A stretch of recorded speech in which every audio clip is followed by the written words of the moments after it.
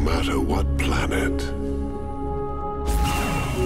no matter what galaxy,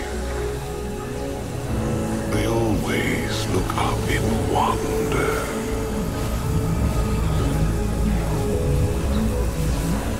Some fall to their knees and worship. Others behind walls and towers.